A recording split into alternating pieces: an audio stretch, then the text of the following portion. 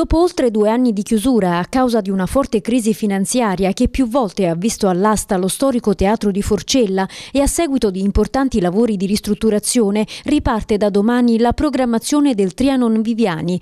Ad aprire la nuova stagione sarà il direttore artistico Nino D'Angelo che torna alla guida del teatro dopo anni nello stesso incarico con il nuovo allestimento dello spettacolo Io senza giacca e cravatta di cui è autore e interprete. Beh, un'emozione bellissima, vedere un teatro che oramai non c'era più, era all'asta, praticamente non apparteneva già più a Forcenna.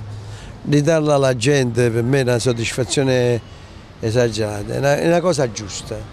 La giustizia che, che, in questo paese non funziona, eh, ha funzionato qua. La gente mi ha voluto eh, e io ho fatto sì, ho aiutato eh, diciamo, alla gente ad avere questo diritto alla cultura, perché la cultura è un diritto di tutti quanti. E se Napoli vuole cambiare la prima cosa deve fare questo, deve riappropriarsi della parola uguaglianza perché Forcella è un quartiere come tutti i quartieri eh, che ci sono al mondo. Questa mattina la visita del sindaco di Napoli Luigi De Magistris con l'assessore alla cultura Nino Daniele che insieme a Nino D'Angelo e al presidente del consiglio di amministrazione Giovanni Pinto hanno incontrato le maestranze del teatro ed annunciato i progetti di riqualificazione per la zona di Forcella. La chiusura è stata responsabilità di una stagione politica che è alle spalle questa riapertura è stato un atto di amore, di coraggio istituzionale e di volontà politica che ha messo insieme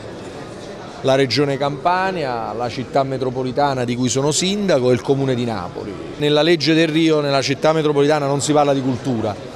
Io ho rifinanziato il Trianon come città metropolitana perché la cultura è anche sviluppo economico e tra i compiti della città metropolitana c'è lo sviluppo economico.